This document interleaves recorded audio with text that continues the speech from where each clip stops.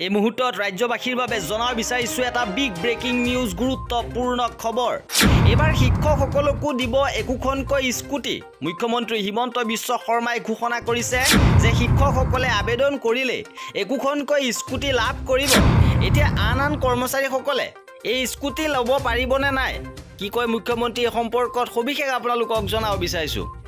যিসকল শিক্ষকে অকণমান ঘৰৰ পৰা দূৰত থকা বুলি বা কিবা কাৰণত স্কুলখন দূৰ কাৰণে যোৱাৰ অসুবিধা বুলি কয় তেওঁলোকে আবেদন কৰিলে তেওঁলোকক আমি এখন স্কুটি দি দিম।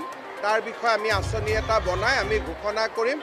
মুঠৰ ওপৰত আটাইতকৈ ডাঙৰ কথা হ'ল যে সময়ত আমি সকলোৱে গৈ স্কুল পাব লাগিব। চৰকাৰী বিদ্যালয়বিলাকে আজি প্ৰাণ পাই উঠিছে এই পৰিৱেশক আমি ধৰি ৰাখিব লাগিব। আৰু যিসকল শিক্ষকে অকণমান ঘৰৰ পৰা দূৰত থকা বুলি বা কিবা কাৰণত স্কুলখন দূৰ কাৰণে যোৱাৰ অসুবিধা বুলি কয় তেওঁলোকে আবেদন কৰিলে তেওঁলোকক আমি এখন স্কুটি দি দিম। তাৰ বিষয়ে আমি আঁচনি এটা বনাই আমি ঘোষণা কৰিম। মুঠৰ ওপৰত আটাইতকৈ ডাঙৰ কথা হ'ল যে সময়ত আমি সকলোৱে গৈ স্কুল পাব লাগিব। চৰকাৰী বিদ্যালয়বিলাকে আজি প্ৰাণ পাই উঠিছে এই পৰিৱেশক আমি ধৰি ৰাখিব লাগিব।